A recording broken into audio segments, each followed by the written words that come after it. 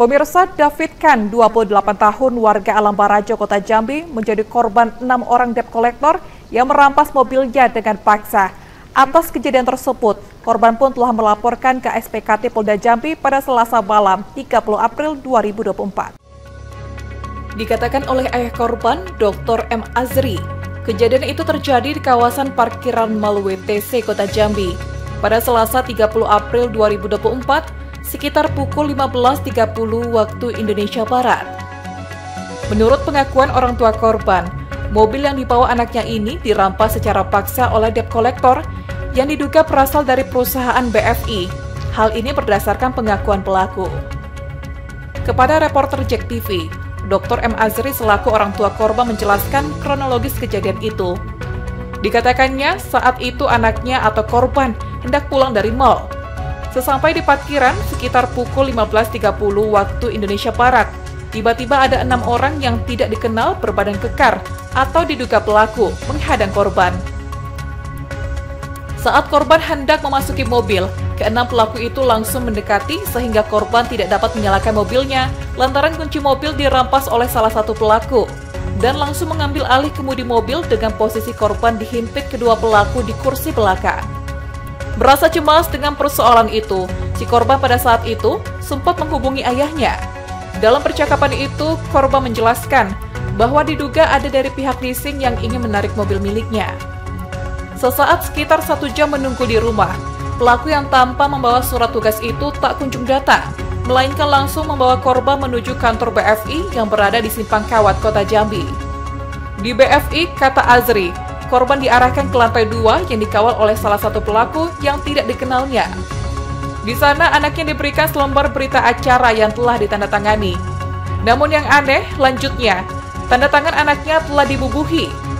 Meskipun anaknya itu tidak pernah menandatangani, yang menurut Azri ini merupakan pemalsuan dokumen. Atas peristiwa itu, korban didampingi orang tuanya telah membuat laporan ke SPKT Polda Jambi yang tertuang dengan nomor LP garing B, garing 116, garing 4 Romawi, garing 2024, garing SPKT, garing Polda Jambi, ditandatangani oleh Kompol M. Jalaluddin tertanggal 30 April 2024. Adapun di antara keenam pelaku, dua pelaku diketahui berinisial S dan EP. Kedua nama pelaku itu didapatkan saat korban ditanyai di kantor BFI. Orang tua korban berharap atas laporan itu pihak Polda Jambi dapat segera menyelesaikan persoalan ini uh, terkait dengan laporan kita ke SPKT Polda yaitu kasus perampasan kendaraan roda 4 yang dilakukan oleh pihak Elang ya nah, dari internal dari uh, DFI itu kan yang terjadi pada jam uh, 15.30 di depan uh, parkiran di depan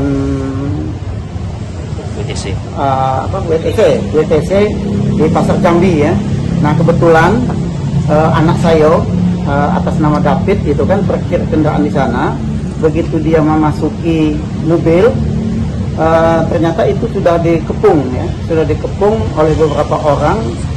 Uh, di sekap di sana dikepung nah, sehingga anak saya tidak bisa menghidupkan mobil nah, sehingga secara paksa kunci mobil dirampas sudah itu dua orang dari pelaku itu langsung masuk ke mobil.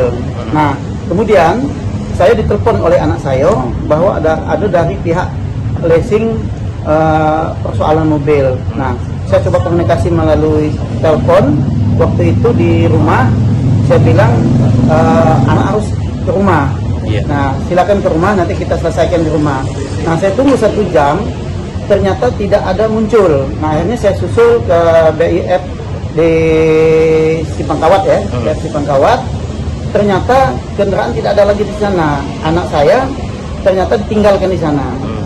Nah itu, nah sehingga kita membuat laporan ke SPK PKT Polda Jambi. Halim Adrian, JEK TV melaporkan.